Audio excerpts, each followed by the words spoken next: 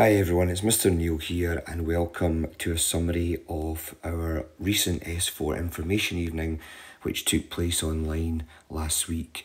Uh, during this narration, I'll give a summary of each slide, and if there's any uh, pieces of information that comes up that you're unsure about or you have any questions, please do not hesitate to get in contact with me. So, the presentation of the night was called The Start of Your Senior Phase Journey and there was various different areas that I took you through on the evening and I was also joined by Mr Richardson who gave a lot of detail in regard to coaching and support and at the end we took a number of questions from the pupils and their families. So the first area we were looking at is just a summary of our curriculum structure. I then gave some reasons why we opted for such a curriculum structure, some information on what S4 looks like, quite a bit of time spent on Hillhead habits and expectations. We then went and shared some information from Mr. McFarlane in regards to wider achievement, and then Mr. Richardson came in to present about communication support and also information about coaching and support. So, the first part of the evening was centred around our Hillhead High School curriculum.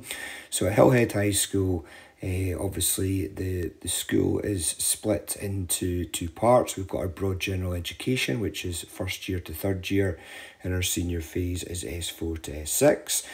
So, when there was changes within the curriculum uh, a number of years ago across Scotland, the, the system allows for flexibility and provides autonomy. So, our senior phase which uh, is S4 to S6, has been designed to maximise attainment and achievement for all pupils. So, our young people have the opportunity to work towards national qualifications at an appropriate level and also engage in a range of personal development and wider achievement opportunities. So, all of your sons and daughters and young people in S4 have now started two year courses in six subjects. So, English, Maths, plus another four. There's also a wider achievement attached to their timetable. What we do at Hillhead is we bypass formal exams at the end of S4 in order to allow for more time for learning and teaching and a greater depth to learning.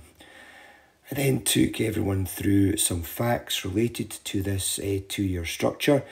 It's about the focus on learning and teaching. It's about being ambitious for all our pupils so there's more opportunities to succeed at higher level.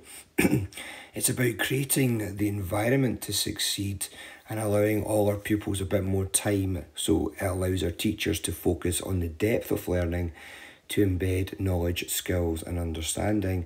And there's also a strong uh, focus, not just through our uh, subjects, but also through our wider achievement on skills for life, learning, and work.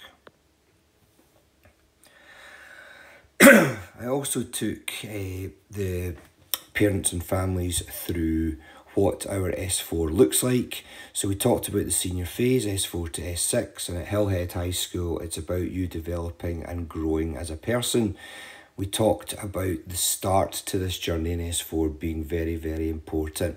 So, a bit of time was taken to talk through what an S4 timetable looks like with registration at the start of each day.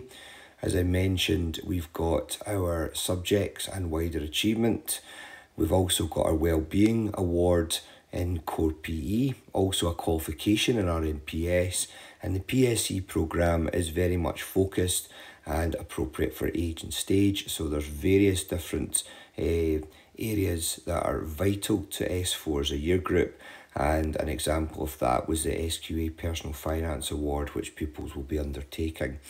There's also opportunities and experiences during Friday 5. And also, I mentioned that fact that we have an S4 year group assembly every Thursday in the hall during registration. And the key thing to remember here is the expectation is that we're looking for all pupils to work hard, to attend, and to be focused all the way from Monday registration through to Friday 5. I then went on to talk about uh, evidence gathering and evidence gathering window and, and why we use the term evidence gathering. As we all know, we bypass SQA exams in S4, but it's important that all our pupils still experience formal assessment uh, within the hall with, with with invigilators to give them uh, an opportunity to experience the exam environment we have over the last few years really moved away from the term prelim, which is an outdated term, and we make the point that your child is more than just one performance and assessment. We have an evidence gathering window which takes place across all subjects from the 20th of May to the 10th of June. That will take place in 2024 and that will allow uh, all our young people to experience the exam environment with English and Maths taking place in the hall, but the other evidence gathering assessment papers taking place in a classroom. The point was made that we, although we have the evidence gathering window, which is about your, your child experiencing exam conditions, your child, as I say, is more than one assessment. And when a teacher looks at levels, they are not just focusing on that one assessment, they're looking at everything that your child has achieved throughout the year. So it's about making sure that your children have a positive experience of an exam environment, and we call it evidence gathering because, in order to look at the progress of any individual child, you should look at more than just one piece of evidence or one assessment. I then went on to, to, to look at wider achievements, uh, and this was a, a slide that Mr. McFarlane shared with us. So, through the, the, the structure of the timetable, we have the six subjects English, maths, plus four others, and then we have the wider achievement, which takes place on last two periods on a Monday. And here are some examples of the wider achievements that, that your children had the choice of and that they're undertaking as part of their, their timetable here at Hillhead. And there's a big emphasis on developing skills for life learning and work, those transferable skills which will help in any job, college, or university. It will also provide accreditation, and pupils will be able to achieve additional qualifications through these areas. I then went on to talk about expectations, again using that phrase from Monday registration through to Friday 5. All fourth year pupils are ambassadors for our school. We've got our uh, values that are at the bottom of every slide within this presentation, and it's important that all our S4 pupils display and model these values of kindness, ambition, integrity, respect, and resilience. It's vital that timekeeping classwork homework and uniform are priorities for all our pupils, including S4 pupils. Hard work, effort, positive mindset is something that I will talk about regularly through Tannoy messages and uh, weekly assemblies. And then introduce this phrase of every piece of work has value. So I mentioned earlier about our evidence gathering period, but also touched upon the fact that we are looking for pupils to perform well at all points. and they are more than just one assessment.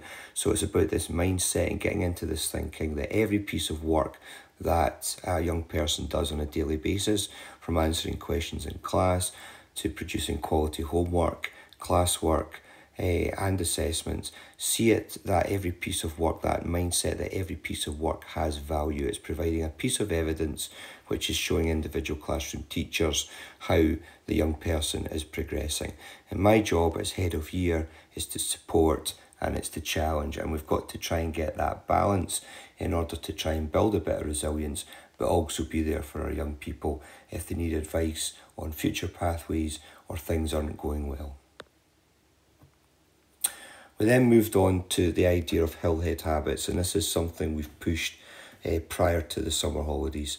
So we talked about good habits being important and how the small things can make a huge difference, and talked about uh, young people being in control of their actions. So this was actually a slide that I shared with pupils in a year group presentation back in June. So it's about pupils being the best version of themselves. Again, timekeeping, attendance, uniform, being fully prepared, not being controlled by the, the phones, not wandering the corridors or hanging about toilets, about making sure that the pupils are in Hillhead High School as a place of work, ready to learn and ready to do their best.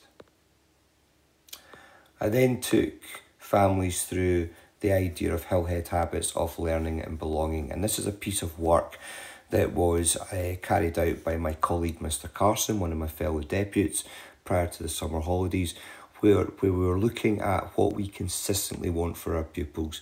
So we honed that down into three key areas. We're looking for learning time, learning quality, and being part of the team. So maximising learning, making sure there's no distractions within the, within the class, which can maintain the quality of learning, and also making sure there's a sense of belonging and feeling, and that pupils feel that they're part of a team here at Hillhead High School. So I then took the, the slides which looked at each of those individually, talking about what learning time looks like and feels like for our pupils. So it's about being in class for the full lesson. And in green, these are the areas that we're looking for. And again, that last sentence there, it's about being immersed in the lesson with no distractions. Similar in terms of learning quality, attending fully to the learning, doing your best work, and then in green, highlighting all the areas that we are looking for from our S4 pupils. Finally, being immersed in the lesson again with no distraction.